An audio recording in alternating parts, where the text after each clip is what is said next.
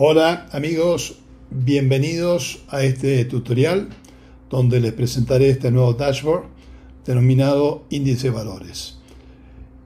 La primera aclaración es que lo he llamado de esta manera y no índice de precios, partiendo de la base de que la información que se refleja aquí proviene de los avalúos realizados por evaluadores profesionales cuya labor consiste en estimar el valor de una propiedad en base a una serie de normas establecidas por la Sociedad Hipotecaria Federal, a diferencia de un precio que es el, el dato que surge de una transacción ya realizada. Hecha esta aclaración, voy a detallar cómo navegar en este tablero que es muy sencillo.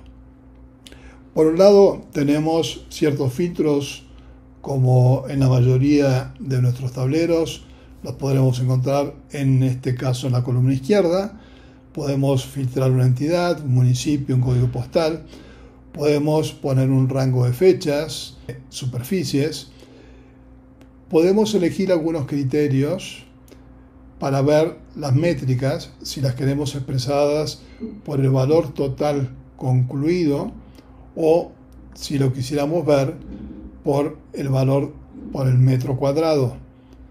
Vamos a ponerlo en este caso en valor por metro cuadrado. También podemos ver si queremos analizar por valores concluidos o por cantidades cuando nos referimos a estas gráficas. En este caso vamos a dejarla por cantidades. Y podemos hacer un análisis a pesos constantes o a pesos corrientes. Aquí donde dice top n de número de otorgantes es para actualizar esta gráfica. En este caso tenemos un top n de 5. A partir de ahí los filtros también los podemos aplicar, por ejemplo, haciendo clic sobre estas gráficas. Si queremos ver solamente la vivienda nueva, le daremos clic en la barra de vivienda nueva y lo que nos va a reflejar esta gráfica es cuál ha sido el incremento de los valores desde el 2019 hasta la fecha para vivienda nueva, considerando en este caso el valor del metro cuadrado de superficie vendible en la línea verde y en la línea roja tenemos el valor por metro cuadrado de los costos de construcción. Y estos costos de construcción se desprenden de la información que huercan los evaluadores a partir de manuales de costos paramétricos a fin de determinar dentro del mismo cuerpo del avalúo cuál es la incidencia en los costos de la construcción.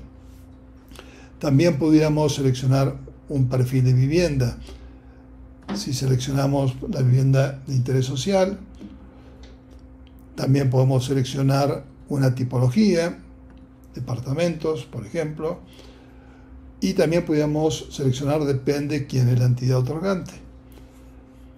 Entonces, en este caso tenemos una selección donde lo que le hemos pedido es para toda la muestra completa y para todo el país una vivienda nueva de interés social, de tipología de apartamento, financiada por bancos, tiene un valor promedio por metro cuadrado de 23 mil pesos, lo cual representa un incremento a moneda constante del 24% desde el momento base.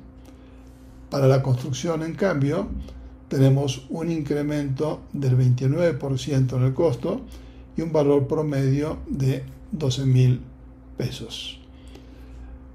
Aquí tenemos el resumen y es cuál es la desviación estándar, cuál es el valor máximo, cuál es el mínimo y cuál es el promedio para toda la muestra.